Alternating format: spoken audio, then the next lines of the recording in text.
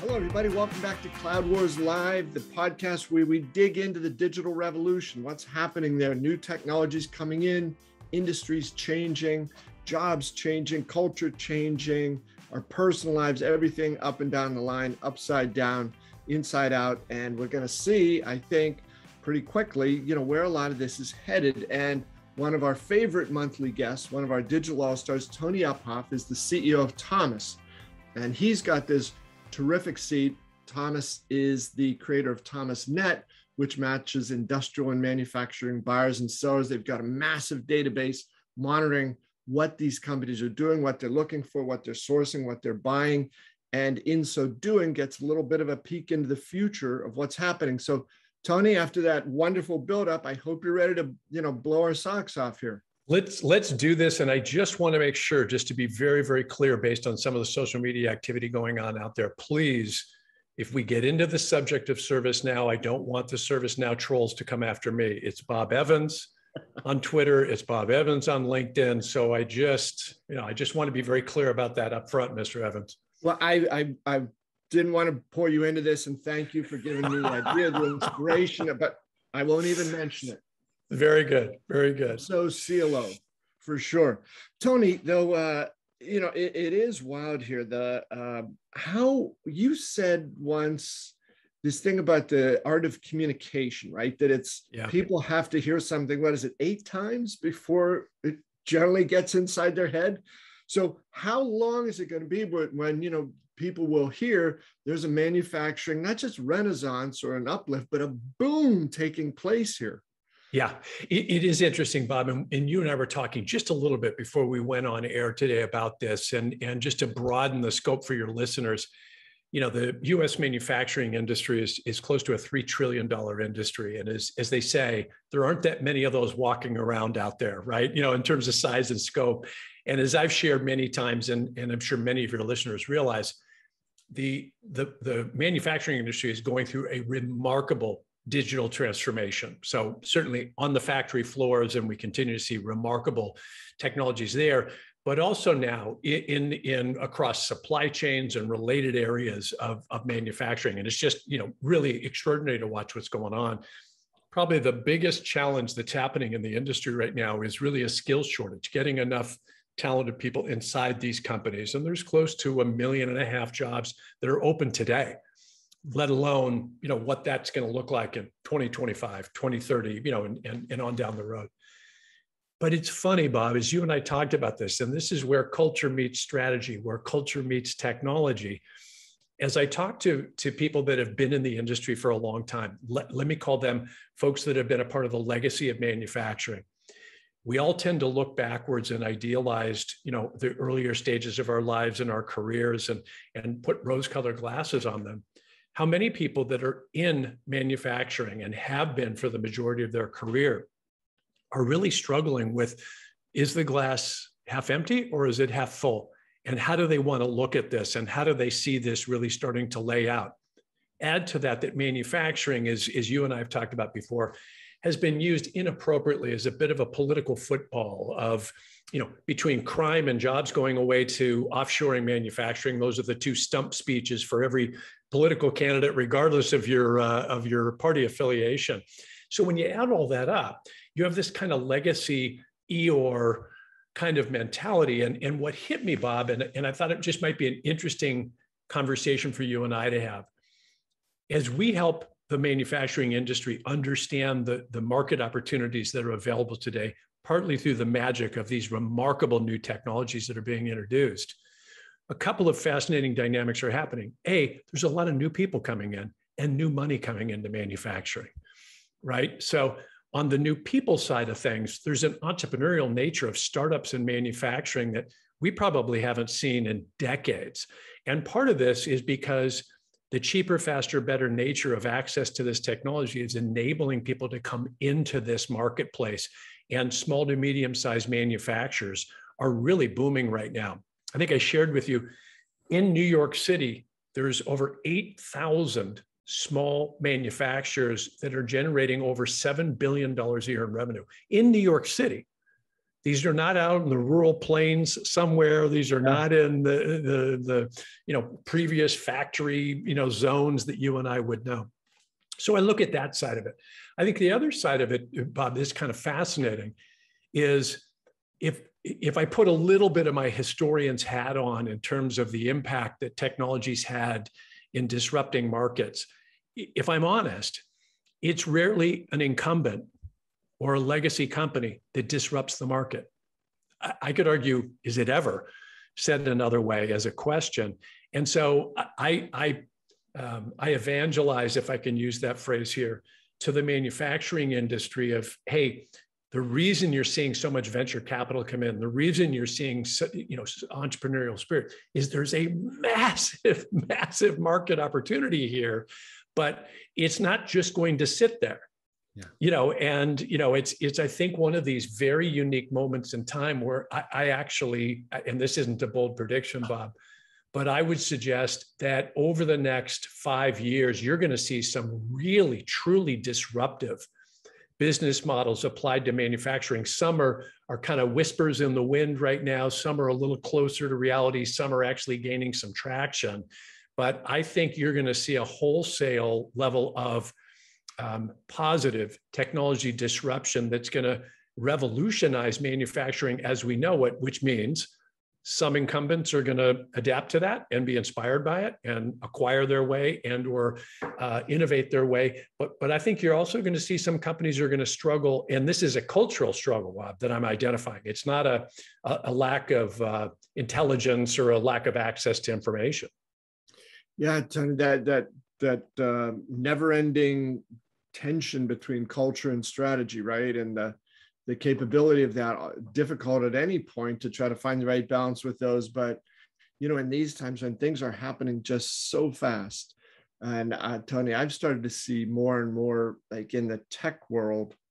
I think there should be more of this, but there's a beginning of it where a lot of the big tech companies are starting to understand that the the value proposition they have to impart to their customers is speed right? Yeah. We can help you move faster, understand yeah. faster, build faster, innovate faster, and so on like that. Because nobody, we've never seen anything like this. So in the manufacturing sector, right, and it's it's partly cultural, as you said, it's partly that self-fulfilling things, right? You hear enough supposedly smart people, knowledgeable people say, well, this is a dead end thing, blah, blah, you know, it start to believe it. But $3 trillion, as you said, there's not a lot of those characters walking around. And I don't think people are going to stop wanting, uh, you know, to invest in things, to buy things, to look at things. I think it's going the other way, right? With this capability for you to have any sort of shoe you want, any sort of car you want, any sort of, you know, appliances, devices, uh, you know, these these new custom things that are happening, homes and the way those are being built.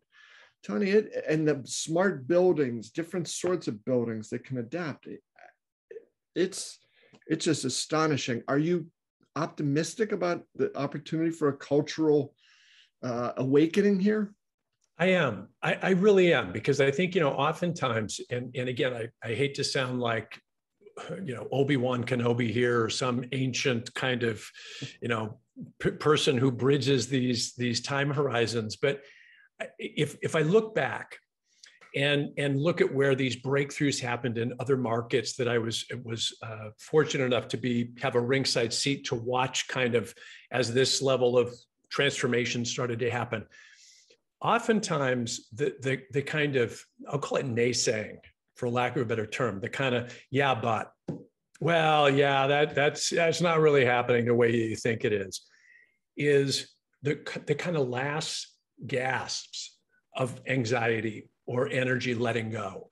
You know, it's it's it's actually not as much of a barrier because if you look back at it, it really is just people released. You know, what they're really trying to say is, man, I, I hope you're right. Yeah. I, I, hope you're right. I hope there's really some growth in this market. You know, I hope there's some new inspiration in this marketplace. I hope there's some, you know, you and I've seen this time and again in different marketplaces out there. You know, if I if I look at um, financial services, you know, if you if you went back into the 1980s or even to the early 1990s and you talked to people that worked on Wall Street or worked involved in, in finance, uh, it's, a, it's a racket, it's a scam, it's a bunch of nonsense. Books, movies were written about that. And in came this thing called fintech. And by the way, none of the Wall Street guys, or I shouldn't say none, but few of the Wall Street guys were really a part of that. And in came fintech, and those folks just looked at it and said, boy, here's a massive market with asymmetric, you know, information exchange. We, gee, we can fix that. Yeah. Right. And, and I think it's a similar dynamic. It doesn't mean that the, these people will go away. It doesn't mean that these companies are going to fail. But the optimist in me feels a little bit like I've kind of seen this movie before a little bit because people don't, you know, we're, we want to be careful we're not seeing a mirage. We want to be careful we're not seeing something that's not there. I think the other thing that's connected here, Bob, and I would compare it to the, the, the financial uh, technology revolution there wasn't a lot of data and and you know it, it's it's really hard to wrap your arms around the manufacturing industry the data is is scarce what data there is as i referenced before is oftentimes misused or misaligned i've shared before the um, the what's called the the pmi index that's put out by the trade association ism is a sentiment survey of 300 people mm-hmm that they attempt to uplift to a $3 trillion industry, which, uh, you know, call me crazy. Um, I know enough about uh, economics and mathematics to know that's actually impossible statistically.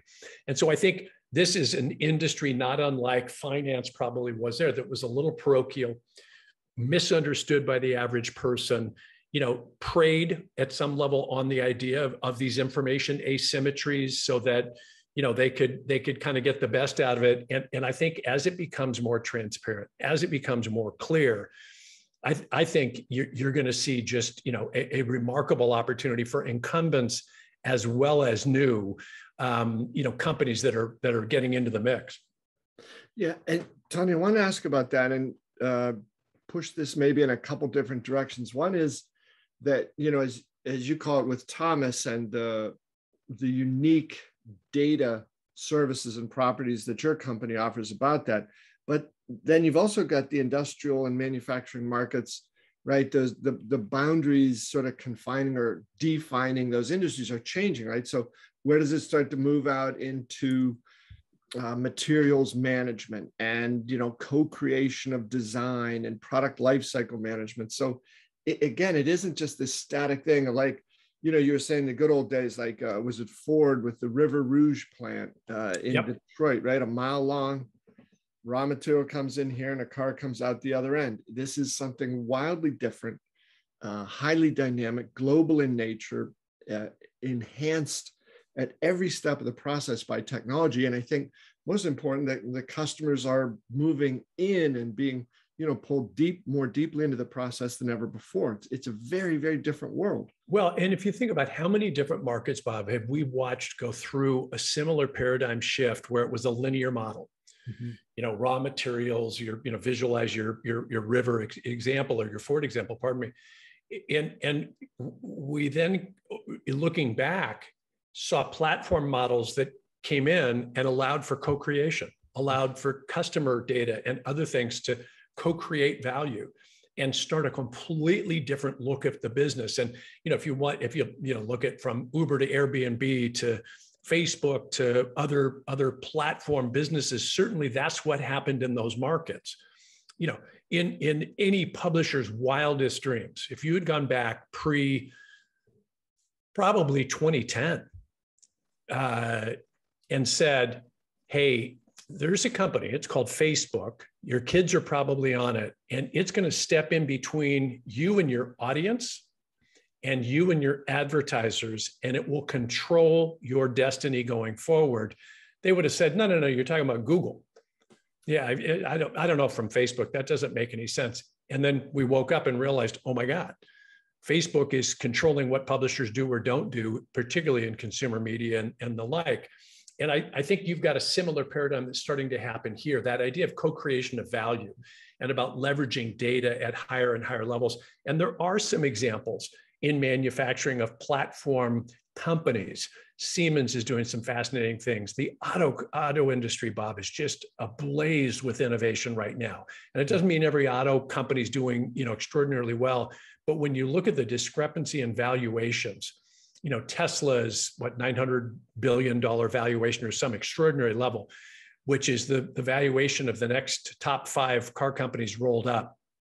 And you look at that, but you actually look at the innovation that that those other car companies are doing, and perhaps you could argue that innovation is not quite yet at the level of what Tesla is doing with electric vehicles, but the discrepancy there is too big the innovation of what these car companies are doing right now is just mind bending.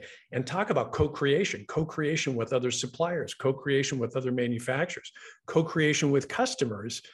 And it seems kind of amazing to say, well, a car company could become a platform company. You bet.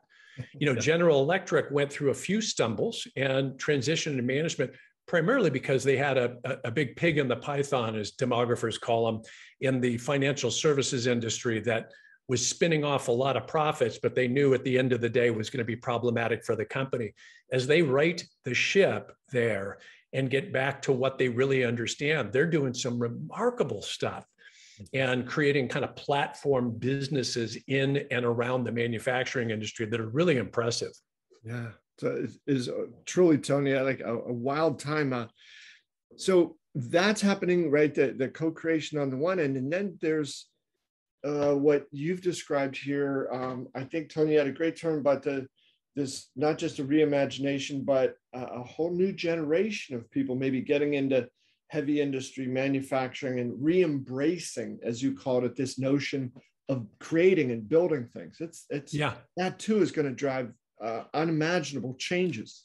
Yeah, and you know, Bob, eh, you and I've touched on this a little bit before. I, I was kind of fascinated when I first joined Thomas and got access to the data I really thought of the users of thomasnet.com, I'd see a mature industry in procurement, engineering, and what are called MROs, people on maintenance, repair, and operations inside a factory, right? And, and I, I found that, but I also found a, a wildly broad demographic stretch and a tremendous number of millennials that were very active in all aspects of the marketplace. And I thought, oh, that's kind of interesting, you know, and, and I guess coming from the outside in, I didn't anticipate, obviously all industries need new talent and, and manufacturing is no different. But I, I was kind of amazed at the number of millennials that were flooding into the marketplace in all of those functional areas from the, let's call it the buy side, procurement and engineering, to the supplier side, the, the, the actual manufacturers or custom manufacturers that fuel so much of the industry. So I started to do some study on this, and I came across um, a series of studies. All the major consultancies have been doing demographic studies and cultural studies on the shifting age demographics in the workforce. And as of 2017, we hit a really interesting inflection point where the number of millennial managers were in the workforce at, and of the same size as baby boom managers. We'd never actually had this happen, right? So the baby boom generation, largest generation ever created, obviously the, the demographically the most studied, now had a generation of its equal size in the workforce at the same time. So I think several things were, were, were starting to happen as I started to look at those studies. Going back to your kind of core point, one of the things that the studies showed is that the millennial generation was exhibiting some dissatisfaction with knowledge work. Mm-hmm. And this isn't, you know, this isn't a pendulum swing, you know, all knowledge work, no knowledge work. Right. But they were starting to see statistically um, relevant numbers where millennial uh, people in the workforce were, were basically saying, hey, knowledge work isn't that fulfilling for me. And there was an example of a quote from somebody that I absolutely loved. And it's like, yeah, you know, I'm riding the subway home to my apartment and I turn to the person next to me and say, you should look at the spreadsheet I built today. It is unbelievable. This there's never been a spreadsheet like this. It could make you weep in its beauty. Versus, hey, what do you do? Hey, you know what? I, I make this. See this uh-huh. cool looking pen? I actually work for the company that makes these, right? And so I, I think as you start to, to explore that, and certainly the research did, we think we're starting to see this in some of the numbers. A, there's a lot of millennials that are entering in, broadly speaking, to the industrial or manufacturing ecosystem. There's a lot of small business startup from young people and things like that that we're witnessing. But the more I started to study this, Bob, the more I kind of related it to broader societal trends that are happening out there. You're familiar with the maker movement. yeah. which has really accelerated over the last decade or so and, and almost kind of a return to being able to make and build things. Um, you're seeing a remarkable amount of stuff in popular media. So I, I'm going to read off a few shows here. There's very, very popular cable or streaming shows, uh, BattleBots, How It's Made, Mythbusters, Forged in Fire, Blown Away, and there's a kind of a rock star in the area, a guy named Mark Rober. And all of these shows are really about building and making things. And they have a kind of a, a manufacturing subtext. So it, it's, I, I, don't know if I'm identifying, you know, a cultural shift or, or, or different dynamic. I would assume if we went back and studied Bob, every generation kind of you know has a return you know the organic movement has has a similar thread to it that every generation probably has that hey, you know, uh, you know, it, uh, enough enough with the uh, uh, you know the the knowledge work and all yeah. that kind of stuff. Perhaps it's time to to build something or leave something of legacy. So there's probably some of that at foot, but I think this is happening at a time, Bob, where the the technology that's available, the enabling technologies, plural, right? is is really unique. Had this been 50 years ago, the same thing probably happened but the enabling technologies didn't allow someone like me to say, well, gosh, I could, I could get a hold of an you know, additive manufacturing machine. Mm-hmm. I could hire a designer and an engineer. I could probably figure out how to do that. 50 years ago, you wouldn't even have had that conversation because it would have required a, a, such a massive investment to get in, you know, the old fab model. Yeah. Gee, I'd like to get in the semiconductor industry. I just don't happen to have a billion dollars to build a fab. hiker. Uh, no. Um, yeah. Let yeah. me take uh, Tony just a second here. I want to share a word from our sponsor, BMC. BMC wants to know is your business on its A game? That's when systems are intelligent by learning from markets, where automation is paramount yet effortless, when technology and people work as one in an enterprise. The A game is your business at its absolute best. BMC calls this the autonomous digital enterprise. Find out more at bmc.com slash A game.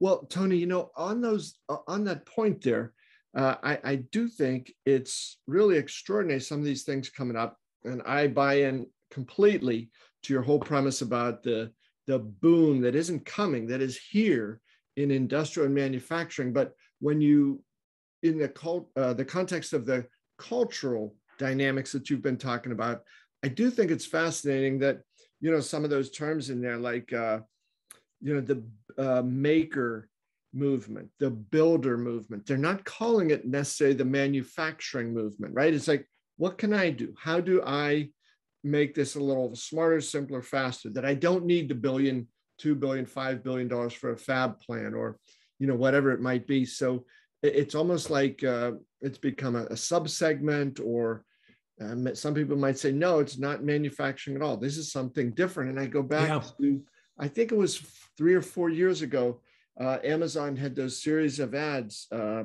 about AWS, you know, the builders. We're aimed at the builder, yeah. you know, and that was really a big thing in there. This, uh, the power of an individual to create things that was never possible before. Yeah, you know, it, it is a really interesting point, Bob, and I have labored since being involved in it of, of really unpacking all that manufacturing is today. And I, I agree with your thesis that I think to an extent it's a limiting point based on on the, the totality of what we see as an industry. You know, I oftentimes have used as an example with people of, you know, where where they'll they'll they'll talk about manufacturing and yeah, well, it's this, it's that. I said, well, you know, what do you think Apple is? Yeah, Apple's a manu. So let's go to the most valuable company on the face of the earth. They're a manufacturer. Hey, how uh-huh. about number two? Hey, how about number three?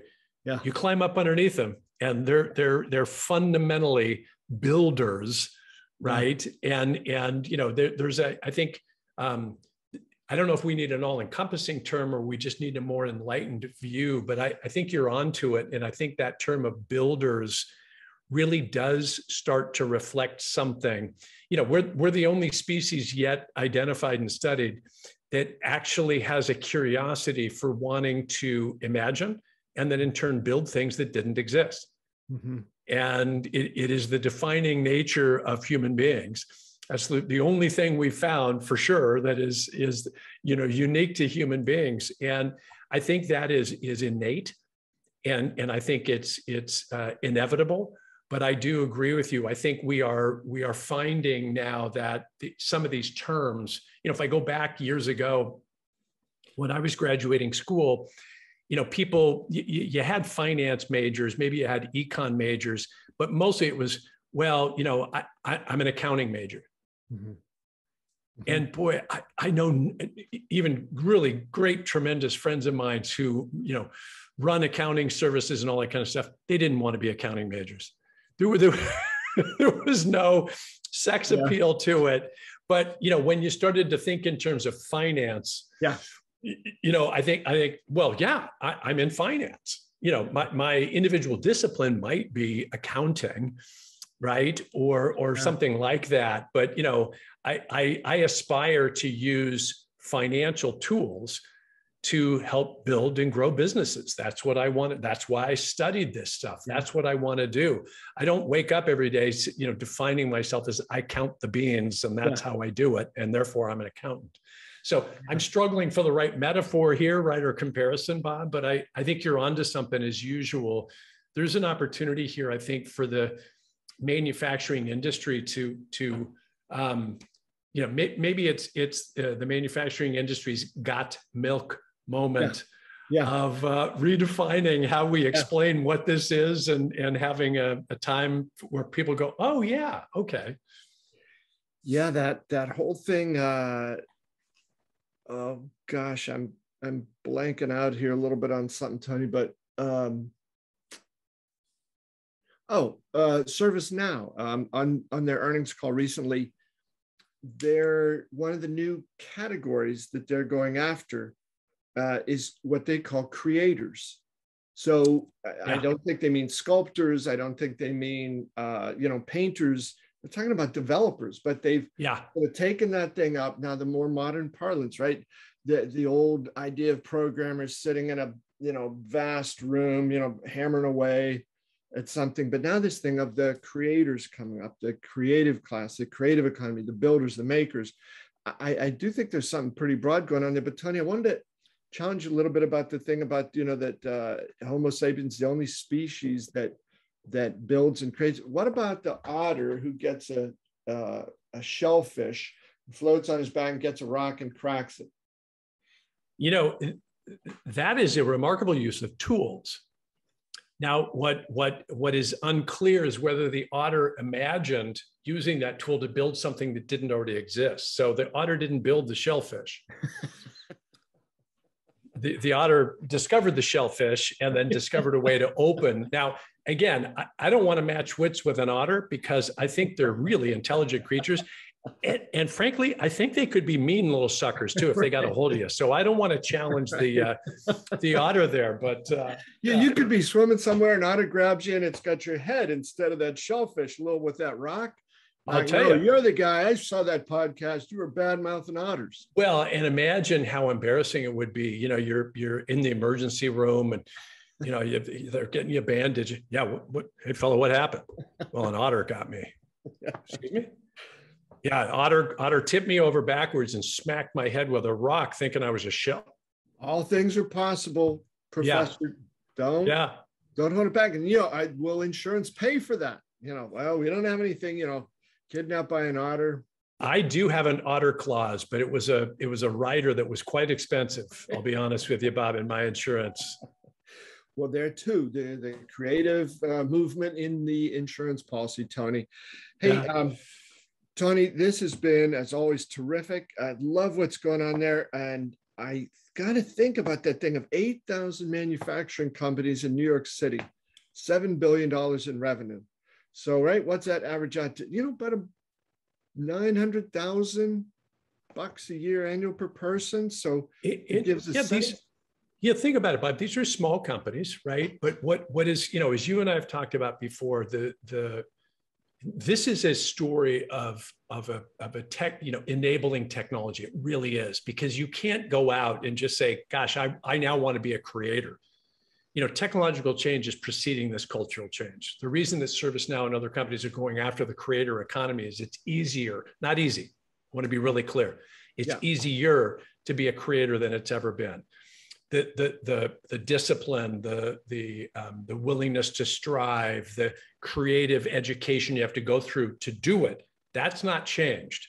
But what has changed is the enabling technologies, you know, within, within reach or grasp of so many more people today. And I, I think that's, you know, we, we, we tend to think of that, well, gee, that makes sense in the quote unquote digital creator economy. You, you know, you, you and I are exhibiting it right now. You know, this podcast didn't exist several years ago. You created this, you created that, and it's all over the digital airwaves. And that's a great example of that. I think what you and I are describing is today, similar types of technologies are available to us where we can source materials, yeah. right? Source manufacturing uh, machines and equipment, and even inside a big bustling city like New York City. And it is really remarkable as we've done, we have a, a very tight relationship with an organization called ITAC that within New York City provides services to local manufacturers. And I know when they first contacted me, I was like, services for local manufacturers in New York City? And uh, bagel it, makers, right? I, and I learned so much, and they are making every you know certainly stuff like garments and things like that are in there but they're making everything up and through and including you know uh, medical equipment and all kinds of different things. Um, but i think bob it really there's a, a, as usual you've you've nailed a thread here that that brings it all together. I think this creator economy the builder economy is I think what we're now able to do is we're really combining the digital and the physical in ways that, you know, was sort of almost science fiction if you go back 30 or 40 years ago. Today, it's a reality. The idea that we can print on demand a product yeah. is just, you know, I still, I, you know, I know 3D printing is not yeah. new, but every time I see it or see another application, I just marvel at the power of that and what it's uh, what it's doing. And you know, maybe, you know, maybe 10 years from now, Bob, you'll see just a, a an enormous vibrancy to small manufacturers. You know, today they're more small to medium. You know, even in the scheme of things, a company is generating a million dollars a year. You know, while that's a still a very small company, you know, if there's only five to ten people in that company, they can be making a nice living in that and yeah. you know doing quite well for themselves you know, uh, uh, imagine as that starts to expand, where you know, people in some cases these could be side gigs for people that just you know want to express themselves and develop an expertise in in some small areas of manufacturing, and you know, we could see a a, a real blossoming of small to medium sized business, particularly here in the U.S. One other thing I would add to this, Bob, your listeners may be hearing about or reading about something called the Buy American Act as though this was a new concept. It's not. It's been around for the better part of 70 or 80 years. Unfortunately, it's not been administrated.